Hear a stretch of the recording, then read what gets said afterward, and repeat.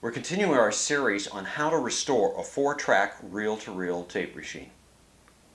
So this section here we're going to be dealing with absolutely the lubrication of the capstan piece here which is on the top for the capstan motor and then here with the pinch roller, this rubber pinch roller.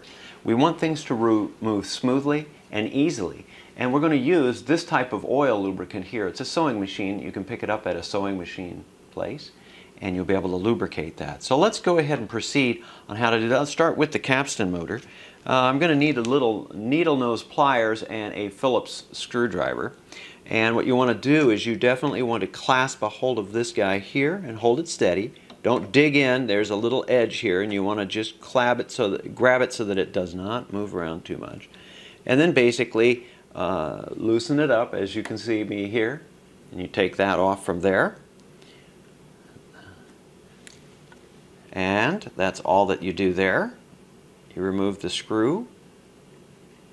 And that's how that works. And then we'll remove this as well. That I just use my finger. Push down just a little bit. I don't want to bend the arms. So, and I don't wench it down too tight. And basically take that off like this. And that will remove these other pieces as well. There's two pieces that'll remove from there. I lay that over to the side. And now we'll grab our trusty lubricant here and we're going to just dab a little bit in into the hole right there, into that.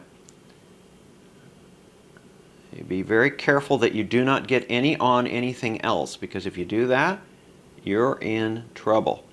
And the same thing is on here. You've got to be very careful about lubricating anything but that.